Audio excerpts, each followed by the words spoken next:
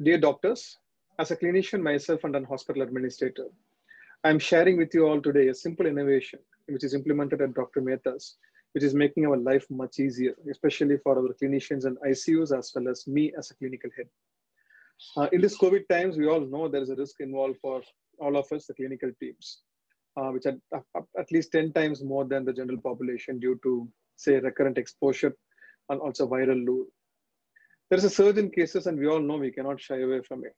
And we have to have we have to manage this for next year or more. And we also have our other non-COVID critical cases and NCDs needing ICU care coming in now. So as an ICU head, what do you really care about?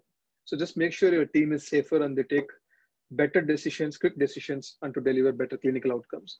And as an administrator myself, I do care about the same thing. I don't want to put my clinical teams at risk and also care about good clinical outcomes, both COVID and non-COVID. Today, we have a simple solution at hand, which is Health Sensei, which we have implemented at Dr. Mehta's, which actually helps in real-time uh, vitals monitoring.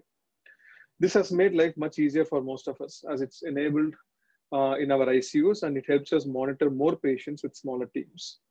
This helps make earlier clinical decisions and the data itself uh, sits on real time across all of us, uh, including the head of ICU and the nursing head and myself, where we can see the data today uh, through a phone. Because of this, we could show a significant uh, improvement in clinical outcomes and also reduction in infection rate among our healthcare workers in the hospital. This is a very low cost problem solver, uh, which readily integrates with any generation of monitors uh, on any brand. I would strongly suggest try this out for three months to know the difference for yourself. Thank you.